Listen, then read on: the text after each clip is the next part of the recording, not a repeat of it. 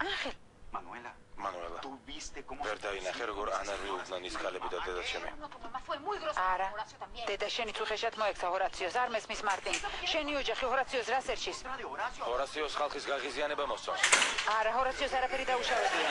არა. გაიხსენე რა გვაჩუქა იმ ქალების თვალს ეკლა. დაგვიდო დაუბრუნ. უკაცრავად გამაგარია ზუსტად ეგ მეთქვა მამა ჩემო როცა პატარა ვიყავ გულთიკობალიას ბიჭებმა როსების ხენის ხალთა და იქიდან რო დავყავ ეკლა სხვა ემოცია არ გამოიწვია შენში ჩემმა გამოჩენა გარდა იმისა რომ мама შენი გაგაცენე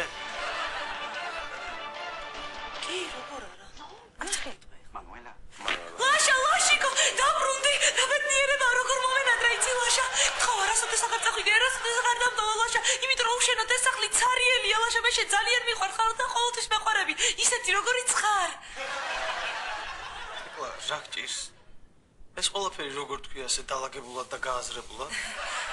მოგესადე ხო წინასწარ მომემზადე რომ შენთვის მე სიამოვნებინა თორე ხო იცი მე ათასი სისულელე მიტრიალებს თავში. ე ძალიან დავიღალეთ ეკლა ძალიან.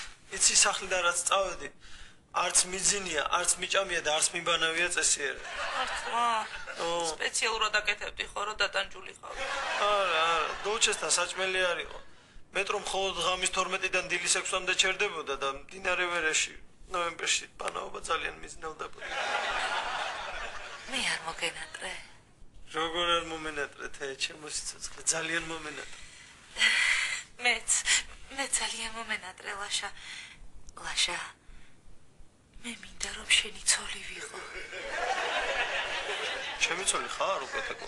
იცი ლაშა მაგრამ მე მინდა რომ ბოლომდე შენი ცოლი ვიყო ხდები აა კარგი გამიცხელე საჭმელი.